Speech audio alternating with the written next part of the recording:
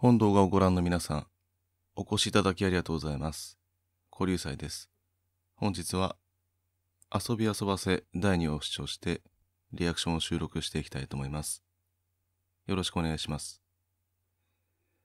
今季一番面白いですね。まだ2話なんですけどね。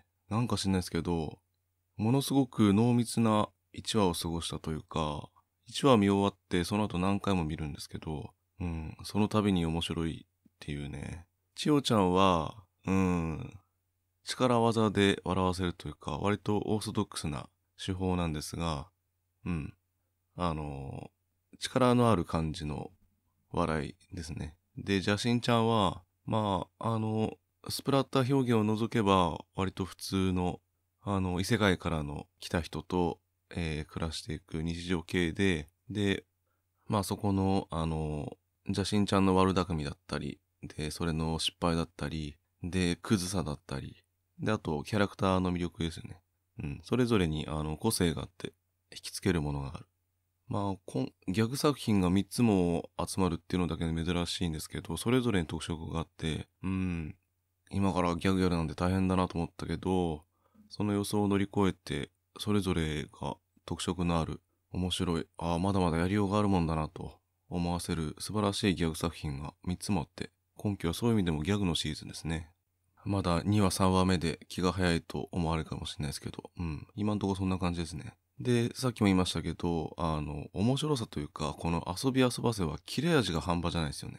あの、1話2話見終わった後、他の作品の、えっ、と、今シーズンの1話2話を大体見終わって、で、リアクションも一通り拝見したんですけど、こんなに受けてる作品ないですね。みんなもう大爆笑ずっと笑いっぱなしっていう。で、私も面白かったですし、いやー、す、とんでもない、あの、始まる前はゆり作品、あの、なんか、可愛らしい感じの雰囲気のゆり作品かなと思って。で、キービジュー PV 見たら全然そんなことなくて、畜生騙しやがったなっていう感じだったんですけど、まあギャグ作品か、見よう。と思って見始めたら、まさかこんなにね、あの、0秒で100%切れるところとか、あと顔芸も、なんか、久々に本当に、あの、スラップスティックな、スラップスティック系の正統派というか、あーよくできたなと。ここまでのものが。あと、前回あの、第1話目でどんだけ何回言うんだよって感じでしたけど、しつこかったですけど、あの、声の感じが変わってるでしょ。あんまり聞かないじゃないですか。聞かないって、あの、人間も一緒ですの方の聞かない、人間と一緒ですの方の聞かないじゃなくて、あんまりアニメ見てて、聞く感じの、あんまりアニメ見てて聞く感じの声じゃないじゃないですか。なんか抑えたトーンというか、ドラマみたいな、あの、音声だけ聞いてるとドラマ聞いてるみたいな、もしくは実写映画とか、そういう系の声なんで、声優さんがそういう人を集めてるのかなと思って見てみたらそんなことなくて、だから普段と声の感じを変えてるっていうことは、これは、あの、音感さんか監督かわかんないですけど、あの、演技指導でそういう感じに統一してるんだなっていうのが分かって、へえ、面白いことすんなーと思って、あの、統一するったって他にもいろいろ、あの、世界観に合わせてやり方はあるんですけど、この作品はこういう感じでいこうって指示して、で、それが、あの、視聴者にわかるぐらいに、ちゃんと特色が出るっていうのはね、で、統一されて、ちゃんと、うん。まあ実は全然そんなことなくって私が勝手に思い込んでるだけかもしれないですけど、例によって、こういうことは。でももし何かしらそういう意図があって、こういう感じのお芝居でお願いしますっていう指示があって、3人がそれで統一して、この結果を出してるんだとしたら、すごい。本当にあのアニメを作ってる現場の人たちってすごいって改めて思いますね。もしそうだとしたらですけどね。全然関係なかったらこの話何なんだってことになるんですけど。うん。でも良かったんですよ。あの、リアクション動画と一緒に何回も見返すじゃないですか。そしたらね、あの、可愛いんですよ。これいいっすよ、この感じの。うん。なんか、今期の作品の中で一番声を聞いてて可愛いと思えるのがこの遊び遊ばせですね。で、そっからの、あの、切り替わりでしょ。本当に。断崖絶壁の切り替わりですよね。ゼログラウンドから標高1000メートルまで一瞬で飛び跳ねるあのテンションの切り替わりはもう凄まじいと思うな。一番、うーん、まあ私が登録してるチャンネルの中ではですけど、あの、もう一番大爆笑がずっと続いてて、で、ご本人もコメントで、あの、リアクション終わった後体中痛くなったっておっしゃってたのはミルモンデンさんですね。この名前のお呼びの仕方、プロナウンスフィケーションが本当にミルモンデンさんで合ってるのかわかんないですけど、もう登録してだいぶ長いし、いつも見てんのに。と、あと、ランダムランブルプロダクションズさんですね。うん。これはコメディ、あの、スライスオブライフにコメディを追加したような作品が好きな人は、もうハマりにハマると思いますね。で、そういう萌えアニメのさ、萌えアニメのキャラはずっと可愛いものが、可愛いままがいいっていう人は合わないかもしれないですけど、でもあんだけ可愛いですからね。あの、ギャグのシーンじゃない時は。で、ギャグシーンでも可愛いですしね、十分。私もアニメ見始めて長いですし、自分が本当に、あの、こうやってシーズナルアニメを、もう毎回毎回、年中行事のように見るようになって久しいですが、まだまだこういうね、知らないタイプの、事前には全く予想もしていなかった素晴らしい作品が出てくるもんなんですね。一話本当に良かったですよ。うん。さあ、そんなわけで、えー、早速楽しみだ。遊び遊ばせ第2話見ていきたいと思います。3、2、1、5。うん。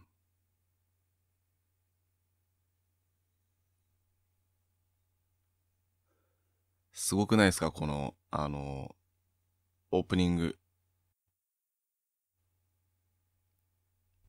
あの、事前にああ、なんかいいなこの声。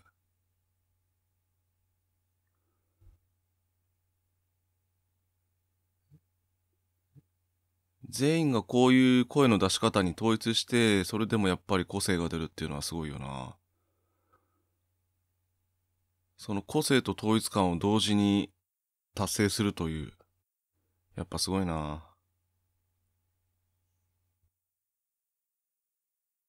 で、あの、事前にキービジュとか PV とか一切見ないで本編見る人っていないでしょ。だから、このオープニング見て、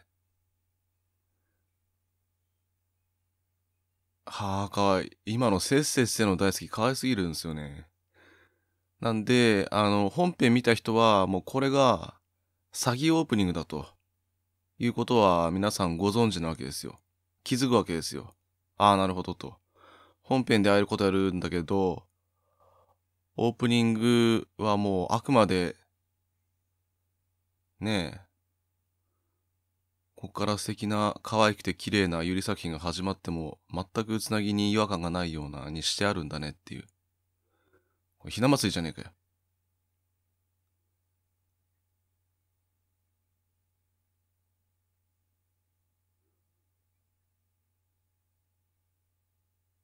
ああ、やっぱヤクザのバックアップがないとこう、こんなもんか。いや、そんなもんっすよ。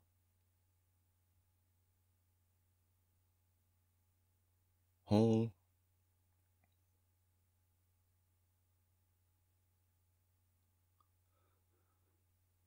生徒会長ってそういう能力でなるんですかね？生徒会長そんな輝いてるか？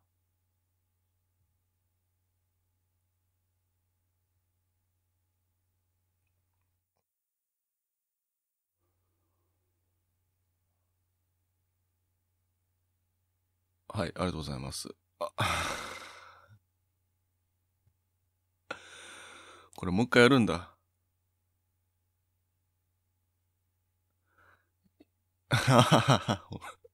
確かに。いや、それは自分で工夫していくのが、だってわざわざ研究会立ち上げたぐらいなんですから。いや、やるんですよ。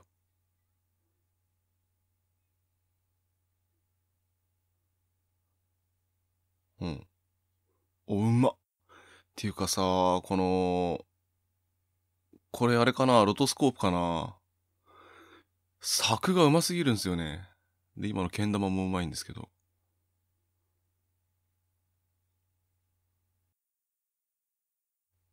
ちなみに全員の名前ほぼ出てこなかったけど覚えました。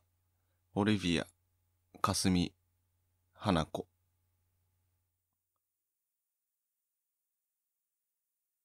やっぱこういうの、うん。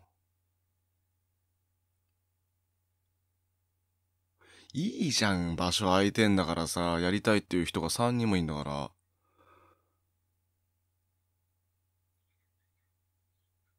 いや、うん。何をそんなさ、いいじゃん、やらしときゃ。もったいないよ。場所空いてて人がやりたいっていう人がいいんだから。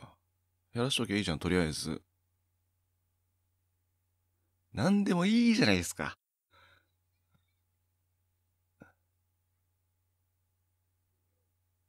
いや、いいじゃないですか。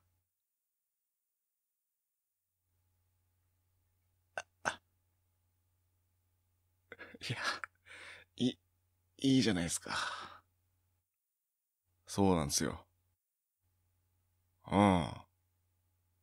いいじゃないですか。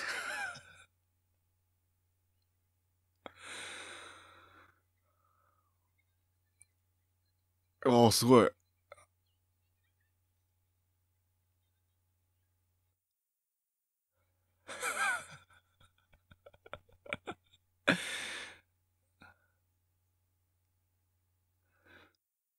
いや、まあ、なん、そう、いや、何にしろこんだけやりたいんだからさ、とりあえずやらしといたら。うん。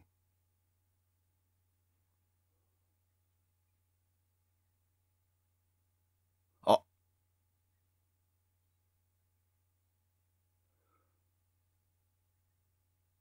はい。オセロにはちょっとね。えええいや、もうダメでしょ。2敗したら。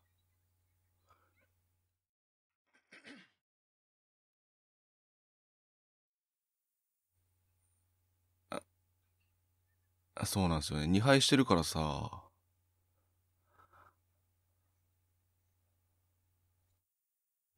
うん。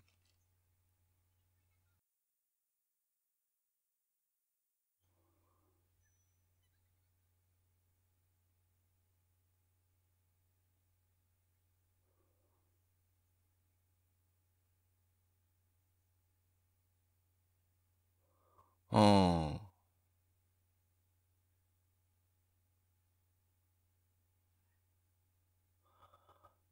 はあ、そうなんだ。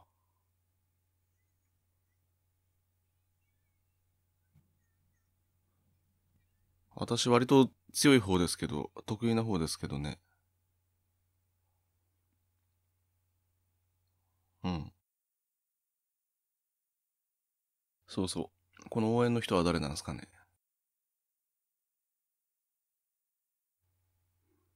でも効果あったんでしょうん。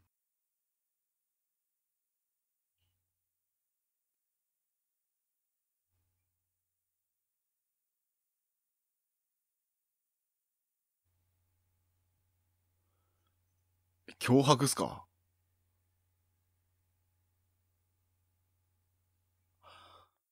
ええ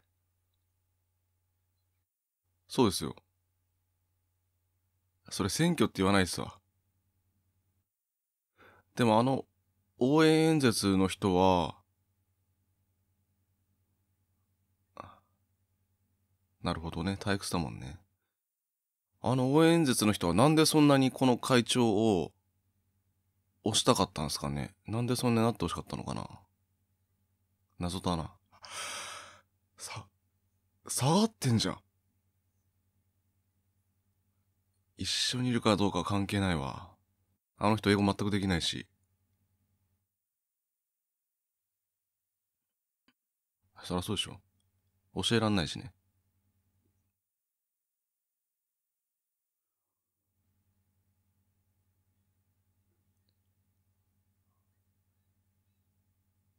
ゲイリー？よくわかんないけど。うん、花子に聞いた方が早いわ。だってオリビアだって花子にね、英語教えてください。つっててましたもんね。スルーしてに決まってんじゃん。わかんないんだもん。この人ほんとだん、合コンのためにソフトテニス入ったりしてたし。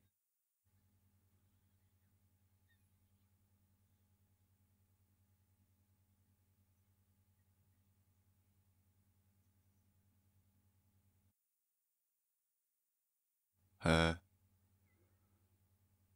花子はとにかく男子に近づきたいのかな？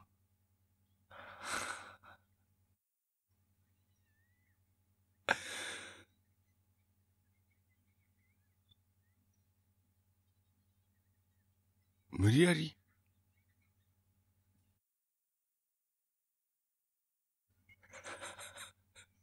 なんでそれ言っちゃうのかな、先に。もらっといて、もらっといても、もらっても黙っときゃいいのにね。そんな価値のあるカードだってのことなんて。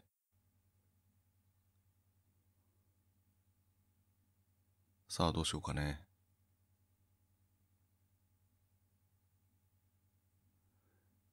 今の、今のちょっと一瞬だけブレス入ったのがすごく怖かった。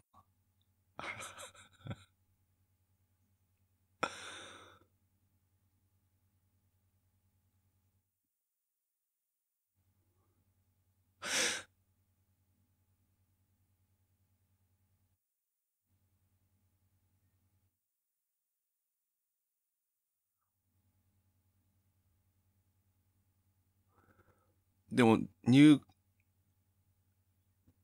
うん。入試の時より良くなってるんですね。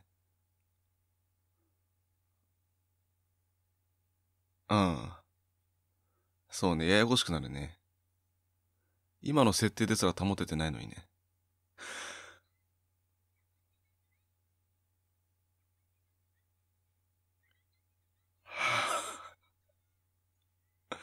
あ、それ今言っちゃうのね。もうちょっと取っとかないんだ。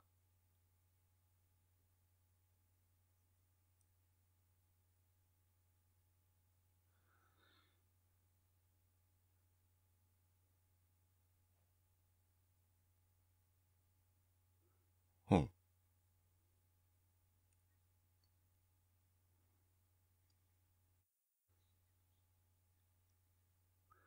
いい話だな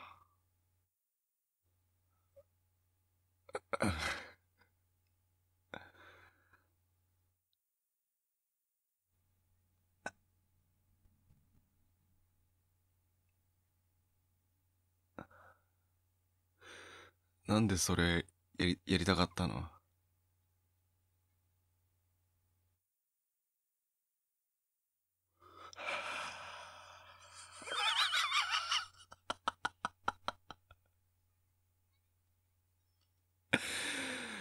一話の。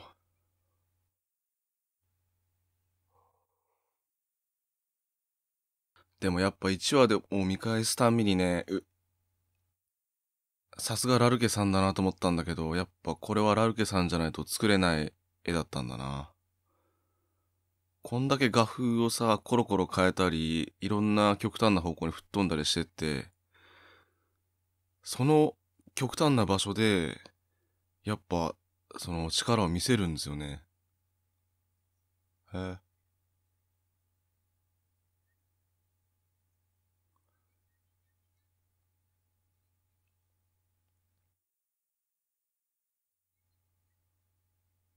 弱い。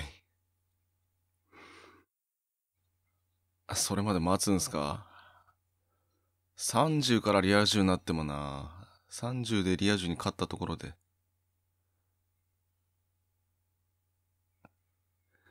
まあ、10代はスキンケアが一番いいですよね。オタクっぽいっていうかさ、ダメなんだ。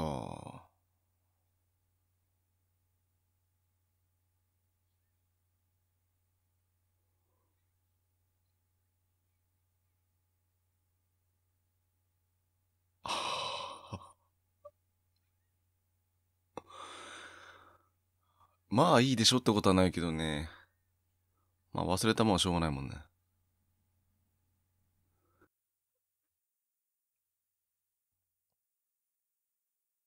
ああ。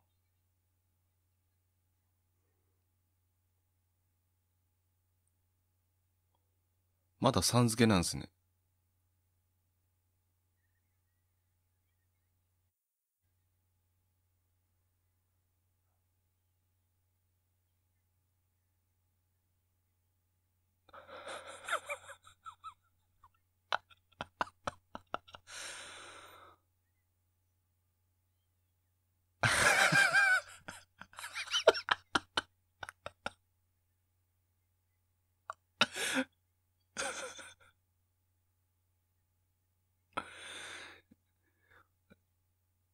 裁判という名のリンチですね。はい。あの、司法手続きを経ない裁判、そして判決ですね。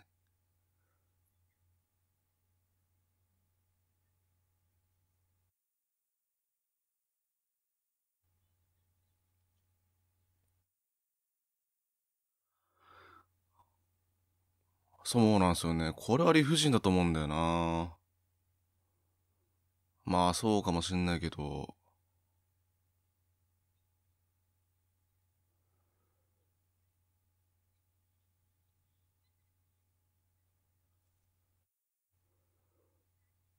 これは男はほんと楽だよな。化粧なんて大変大変って言われたって、どんぐらい大変なのかななんて調べようとも思わないもんな。まあ、ギリ、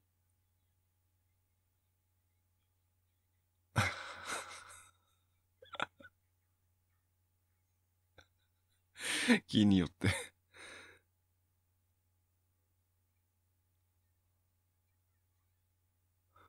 すっ。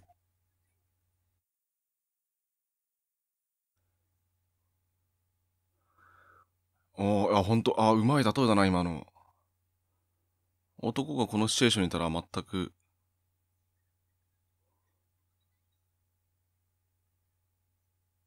ほう。そうなんだ。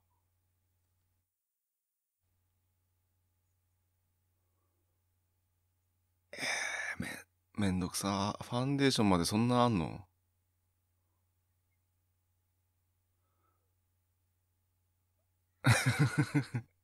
なんすか今の笑え。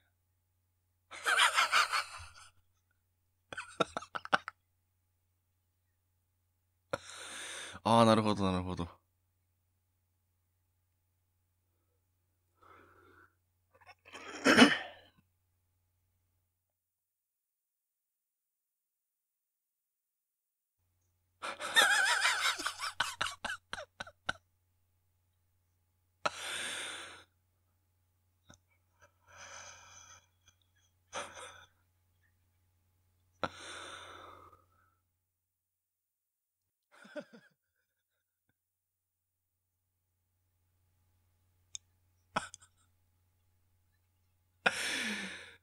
うーわ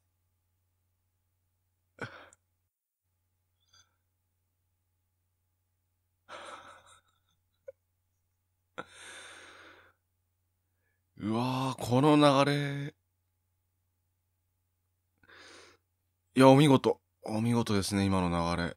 殴られた感じで、2発殴られた感じだけでも面白かったのに。なるほど、先生に取り掛かられて見つかるとは。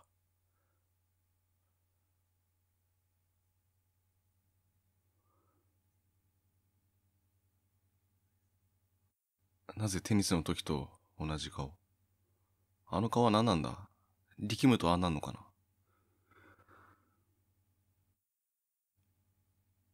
でもやっぱ、時々出てくるあのリアルな顔は、なんじゃこれ。実写の経験を相当積んでないと描けないですよね。あの、実写の白黒写真っぽいやつ。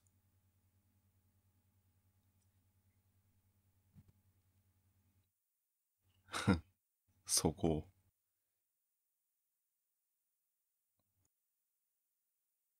な、なんで羽子板に、あの、うん。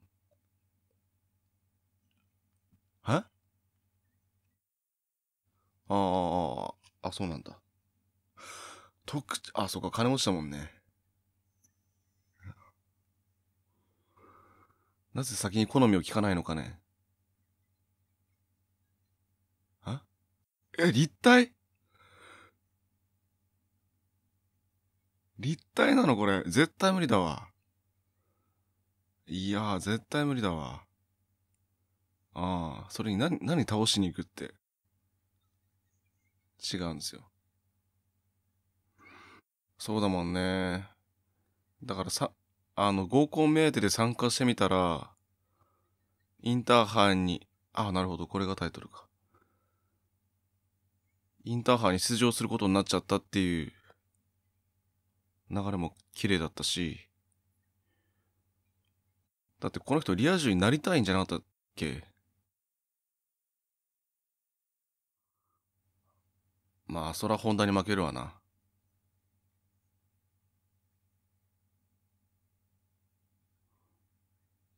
絶対無理だよ。あ、でも、あのハゴいたか。うん、そうなんですよね。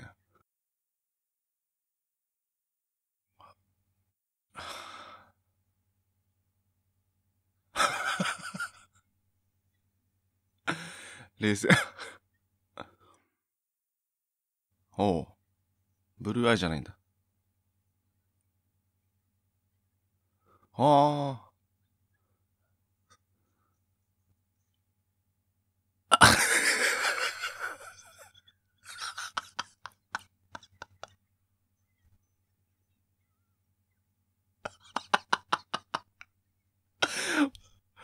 終わってる。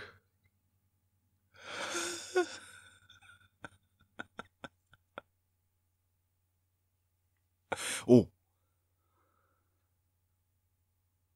その、物理、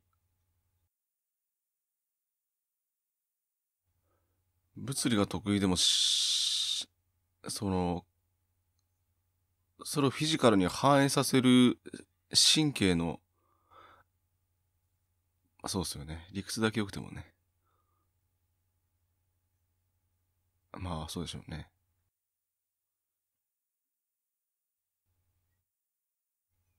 なんだなんだな。何持ってきたの？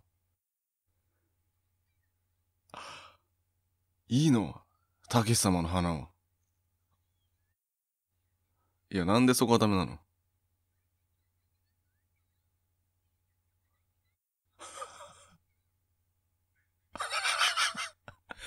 まあ、こっちの方が、マシだな。直せるもんね。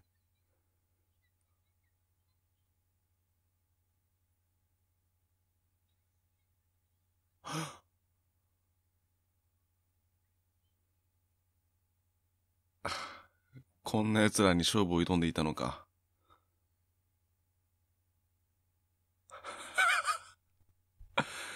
鼻折った笑み。ああ。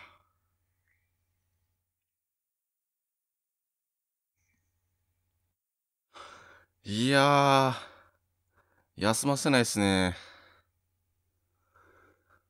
ほんと面白い。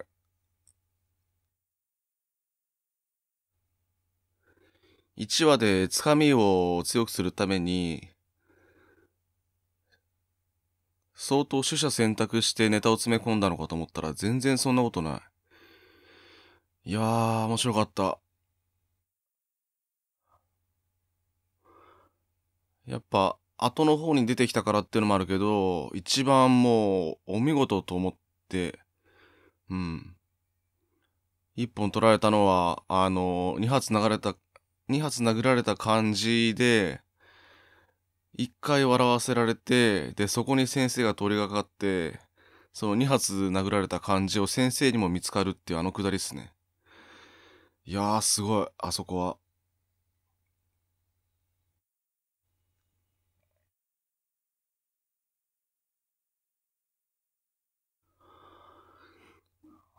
あと、オリビアがとうとう、英語のことをもうぶっちゃけるんですけど、あれでもうね、あの、片言っぽく話さなくていいですもんね。はあ。はい。この景品欲しい？そんなの逆にやってみたいけどね。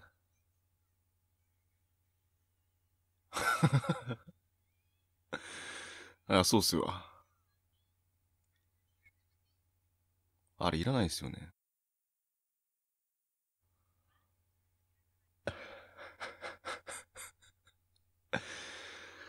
は あ。あれで外外国人というか、あの、外国育ちのフリーする必要なくなったっていうのがね。いやー、面白かった。うん。あの、普通にしてるとやっぱね、前回も言ったし、今回の冒頭でも言ったんですけど、あの、普通にのテンションの時の声めっちゃ可愛いですね。あの、3人とも可愛いし、このお芝居の仕方流行んないかなちょっとあの、ブレス入ったりとか、で、あの、息だけで笑うところとか、すごく可愛いんですけど。でもこれあれか。収録大変かもしんないな。ああいう声量抑え抑えめでやると。声量でっかければね、で、あの、張った声で通る声で、うん。やると、もう本当に、あの、音感さんとか、あと、あの、ライブでの PA さんは本当に助かるんですけど、こういう、囁き声までいかないけども、あの、100%張ったよりは、7割ぐらいに抑えた感じの声の方が、結構ね、あの、ちょっとしたノイズとか、もう目立つし、うん。結構と、あの、止めながらやんなきゃいけなかったりして大変そうなんですけど、だからあんまないのかな。でもすごくいいですね。個人的には、うん。もうこれ、この声のお芝居の仕方が、この作品に対する、うん、好感度をすごく上げてますね。1話の3分の1ぐらいの時に、あの、もう、もうこの作品好きですって言いましたけど、やっぱ2話でも、うん、変わらずというか、さらに好きになりましたね。面白いし、可愛いし、あの、作画が、作画の上手さが目立つ、この、ドヤーみたいな感じの作画じゃないんですけど、あの、その崩した作画でも、上手い人じゃないと描けない描き方だし、で、あの、いろんなアートスタイルを変えて、すごく極端に振ってるんですけど、そのたんびにね、そこ、その絵柄でのうまさが出てるっていうね。うん。あそこで、あの、極端な、あの、別の作風にしたからとか、極端な絵柄にしたから、多少下手でも目立たないっていうことで、油断して手抜いちゃったりすると、それは割とわかりますからね。作画とか、あの、こだわってる人とか、見てる人の中でも、その絵にこだわってるというか、絵に注目してる人は気づきますんで、というか見抜きますんで、そういうところはね。そういう目を持った人の鑑賞にも耐える、すごい力の作画だなうん。すごく安定してるというか、うん、やっぱ、すごいんだなっていう、すごく安定感のあるというか、頼もしいというか、うん、しっかりしてる。よっぽど基礎からしっかりしてて、で、現場での経験が豊富じゃないと、あんなびくともしないような安定した作ができないと思うんですがね。うん。でいや、第2話も本当に良かったです。これリアクション見るの楽しみだな、また。あー、いや、はい。じゃあそんな感じで、えー、遊び遊ばせ、第2話を見ていきました。お付き合いいただいた皆さん、ありがとうございました。また次回でお会いしたいと思います。それではまた。